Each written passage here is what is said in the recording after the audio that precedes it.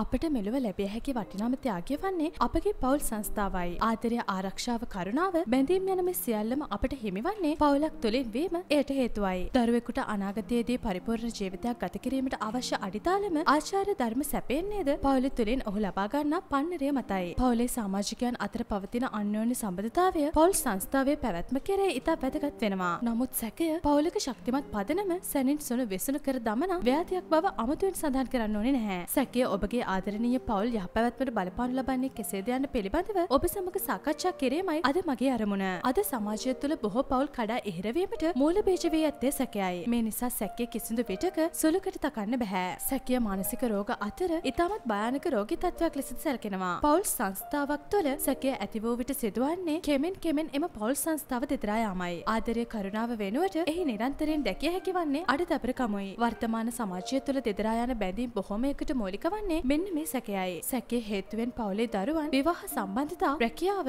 ආර්ථික මට්ටම සමාජ මට්ටම යන මේ සියල්ල දිනෙන් දින පිරිහීමට ලක් වෙනවා. අසාමාන්‍ය ලෙස තම සහකරුවාව සැක කිරීම සාමාන්‍ය තත්වයක් ලෙස සලකන්න සුදුසු නැහැ. තම සහකරු දෙස සැකයෙන් බැලීමට හේතු වන්නේ මෝබට් ජෙලසි නැමැති තත්වයයි. මෙහි මූලික රෝග ලක්ෂණය වන්නේ අසාමාන්‍ය ලෙස බෙරිය හෝ සැමියාව සැක කිරීමයි. මෙම තත්වයෙන් පීඩා විඳින විට තම සහකරු පිළිවෙලට ඇඳුම් පැළඳුම් භාවිතා කිරීම පවා වරදක් ලෙස දිස් වෙනවා. එම නිසා නිතර නිතර සහකරු සමග අඩදබර ඇති කර ගන්න අතර අවසානයේ සහකරු ඝාතනය කිරීම දක්වා හෝ සියදිවි නසා ගැනීම දක්වා මෙම ගැටලුව ඛේදජනක වීමට ඉඩ තියෙනවා. සැකය නිසා සැමියා බිරිඳ ඝාතනය කර දැමූ පුවත් ඕනෑ තරම් එදිනෙදා සමාජය තුළින්ම අපට අසන්නට දකින්නට ලැබෙනවා. ඝාතනය සිදු කළ පසු වරදකරු සිරගත වීම නිසා පවුලේ දරුවන් මවපියා නොමැතිව සමාජය තුළ අසරණව තනිවීමද මෙහි අවසන් ප්‍රතිඵලය වෙනවා. මව සහ පියා අතර නිරන්තරයෙන් ඇතිවන සැකය අඩදබර දරුවන්ගේ මානසික බිඳවැටීමට ඍජුව බලපෑම් එල්ල කරනු ලබනවා. එවැනි තත්ත්වයන් මත දරුවන්ට කංසාව මානසික ආතතිය වැනි සමාජ පීඩා ඇතිවිය හැකි අතර දරුවන්ගේ ප්‍රශාටකාරී හැසිරීම් කෙරෙහිද මෙම තත්ත්වය ගොඩක් හේතු වෙනවා. එයට අමතරව දරුවන්ගේ අධ්‍යාපනය බිඳ දැමීමටද මව්පියන් තුළ ඇතිවන අධික සැකය